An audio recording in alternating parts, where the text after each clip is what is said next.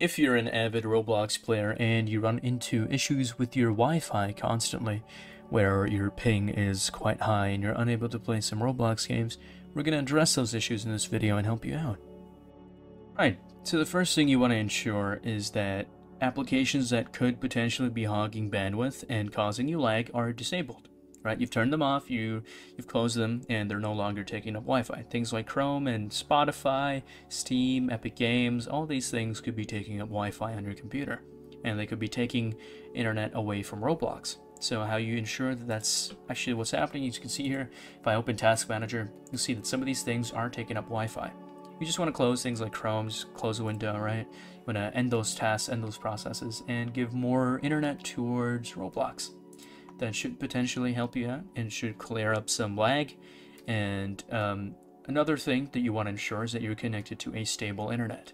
I'm currently on a wireless connection, which is not recommended. I recommend a wired connection. It is more stable. It is the best form of connection you can have. It's uh, it'll guarantee you the best ping, right? If that doesn't help you out, if you're if you're still facing some lag and um, you're still facing some instability in your ping, we'll move on to the next step. So, something that could be potentially causing you unneeded network issues would be your antivirus. Antiviruses scan your network and they make sure that no viruses or malwares are getting onto your computer through your connection. You connect to Roblox servers and your antivirus can sometimes be skeptical of that, right? It could be acting up, bugging out, whatever, etc. So you want to ensure that that is not what's happening. You just want to head on over to your antivirus. For me, I have Avast installed. You just want to open it. And you want to disable your core shield, web shield and behavior shield. Disable these two for you to look like something different it'll say something different, but essentially it's the same thing. You just want to disable your antivirus and you want to load up Roblox again and check if your ping is better or worse. If it's worse, uh, sorry, if it's better, then that's clearly your your antivirus. It's causing you problems, right? So you just want to disable that. You want to create an exception for Roblox specifically so it doesn't cause issues anymore. For most people, you probably have Windows, just regular Windows security. You won't have an, an antivirus like me. So you'll find that in Windows security. You just want to go over to your Windows search bar and type in Windows security. And you want to head on over to virus and threat protection. Here you'll get like a, a button to create exceptions and you just want to add Roblox to that list of exceptions, right? And that'll make it so that your antivirus no longer blocks Roblox. That should prevent your ping issues and you should have a more stable connection. If that doesn't work, if that's not your problem and your antivirus is just fine, you want to move on to the next step. The next potential solution to your problem would be checking out your Windows Defender firewall. Your firewall could be preventing access to Roblox servers and therefore causing you lag and preventing you from accessing Roblox. So to solve this, you're going to want to head on over to Google Chrome and you want to type in Roblox port opening, just like that. And you want to take note of this, this number that shows up right here. We're going to minimize this for now and we're going to go on over to Windows search and we're going to type in Windows Defender Firewall.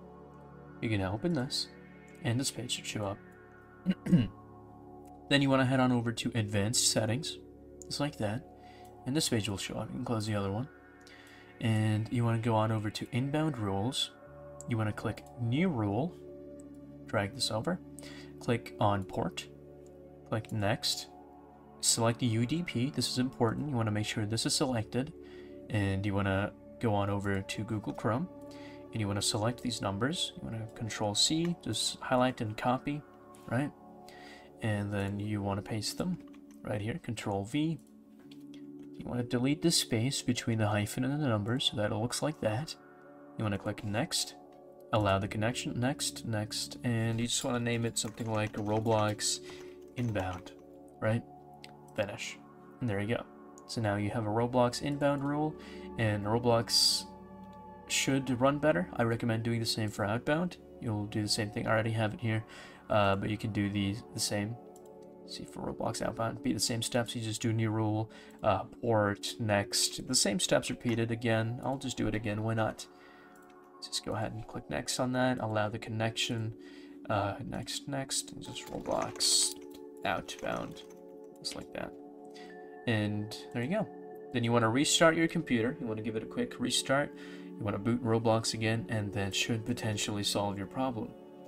If it doesn't, if your Roblox is still lagging, if you're still experiencing high ping and you're unable to get rid of it, you can try to contact me in the comments, drop me a comment, give me your case, tell me specifically what's going on, and I'll try to help you.